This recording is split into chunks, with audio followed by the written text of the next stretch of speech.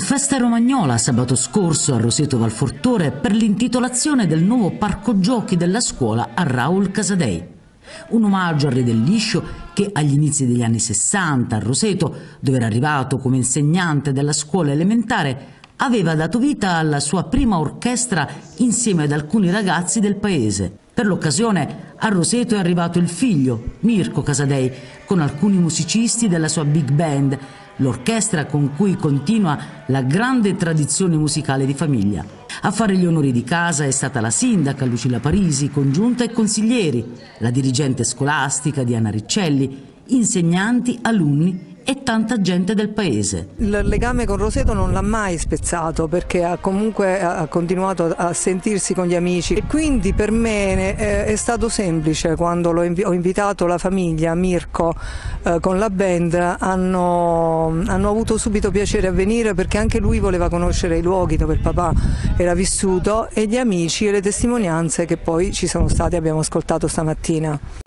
È una grande emozione, devo dire per me. Tutto è cominciato qui, è cominciata la storia della famiglia Casadei perché Raul ha incontrato Pina, la mia mamma napoletana, facevano gli insegnanti tutte e due qua a Roseto e anche la musica dell'orchestra Casadei è nata qui perché Raul cominciava a scrivere le canzoni sia per lo zio secondo Casadei che era il fondatore dell'orchestra ma anche per il suo futuro Quindi, e poi il rapporto con i bambini di Roseto con la scuola, era un maestro moderno, andava in classe con la chitarra si è inserito subito in questa comunità, eh, si è creato questo gruppo di amici, hanno messo su questa band, questi cinque personaggi eh, storici per Roseto e io tornando qui mi sono reso conto di questo rapporto meraviglioso che aveva appunto con i rosetani, quindi grazie veramente di queste belle testimonianze. Un tuffo nel passato attraverso la proiezione di foto raccolte da Nicola Chiechi, a cui si deve l'idea di rendere omaggio a Raul, e i ricordi